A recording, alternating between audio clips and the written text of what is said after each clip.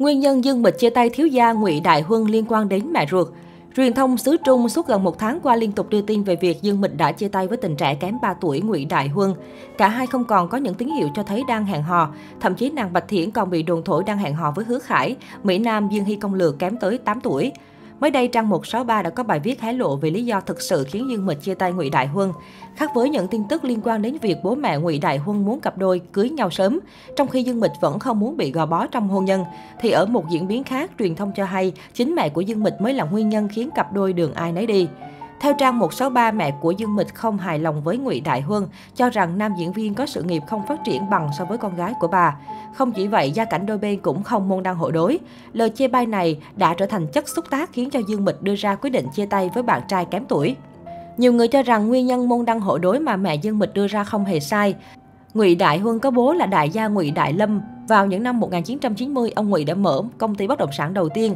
Riêng tại Cát Lâm cho đến bây giờ, ông Ngụy Thiệu Lâm đã có trong tay 11 công ty, 7 công ty còn lại rải rác khắp các thành phố Bắc Kinh, Thượng Hải, Hải Nam. Mẹ của Ngụy Đại Huân cũng chẳng kém cạnh khi được coi là cao thủ giới thương trường. Nguồn tin trong giới còn cho hay trong số 18 công ty bố nam diễn viên sở hữu, có tới 8 công ty Ngụy Đại Huân được bố giao cổ phần. Đặc biệt có một công ty mà bạn trai tiên đồn của Dương Mịch sở hữu đến 99,99% cổ phần tại đây.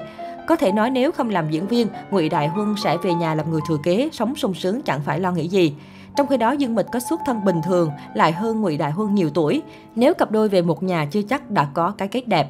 Tờ báo này cũng nhận xét rằng trong chuyện tình cảm của cặp đôi nếu như anh tình tôi nguyện thì mới chính là cái kết viên mãn hoàn hảo nhất. Có nhiều ý kiến cho rằng Dương Mịch giờ đây chỉ muốn hẹn hò, yêu đương, hoàn toàn không có ý định kết hôn, coi Ngụy Đại Hương là thú vui mà thôi. Mới đây Dương Mịch tiếp tục nhận được sự chú ý của khán giả khi lộ diện với vẻ ngoài gây sốt. Trong đoạn video chia sẻ trên TikTok, Dương Mịch bước lên xe, vòng eo nhỏ xíu co lại càng thêm nhỏ, khiến cho những người xung quanh không thể không ngoái nhìn. Đoạn video cho thấy trợ lý nam không cầm lòng được mà liếc nhìn cô khi vòng eo đầy ấn tượng lọt vào mắt anh. Dương Mịch mặc chiếc áo phông đen ngắn hở rốn vào quần tây trắng để lộ vòng eo con kiến. Tờ Apple Daily nhận xét vòng eo chỉ 20 inch, hơn 50 cm. Người dùng mạng hào hứng bình luận, vóc dáng này đẹp quá, trông như chưa từng sinh con. Làm sao để được thế này? Chúng ta có thể tưởng tượng được sự vất vả đằng sau vòng eo đó. Dương Mịch một ngày chỉ ăn một bữa thôi sao?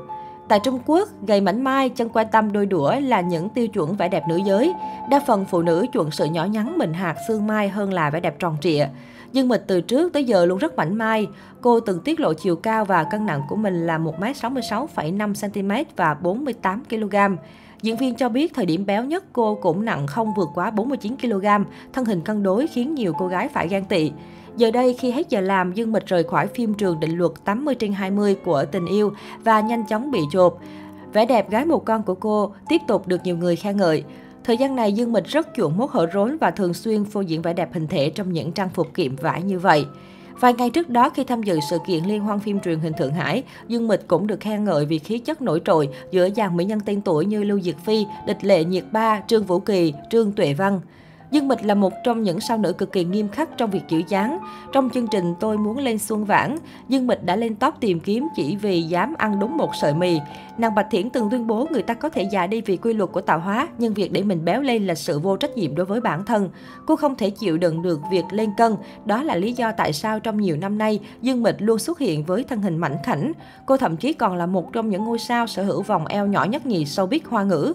Nữ diễn viên Phù Gia Hoàng hậu từng đăng tải hình ảnh tập luyện ở phòng tập và thực đơn ăn uống ít đến khó tin. Để giữ dáng, bữa ăn của Dương Mịch chỉ có 7 chiếc bánh bao nhỏ chấm với nước tương, ăn kèm một đĩa salad trứng luộc, bơ, cà chua, ngô, xà lách, dưa chuột. Dương Mịch là diễn viên nổi tiếng tham gia showbiz từ khi còn nhỏ. Người đẹp được biết đến với Tam sinh tam thế, thập lý đào hoa, tiểu thời đại, tôi là nhân chứng, Tú Xuân Đào 2. Cô kết hôn với tài tử Hồng Kông Lưu Khải Uy và có với anh một con gái. Hai người ly hôn tháng 12 năm 2018. Lưu Khải Uy nuôi con. Cô bị đồn yêu tài tử Ngụy Đại Huân, tuy nhiên không xác nhận.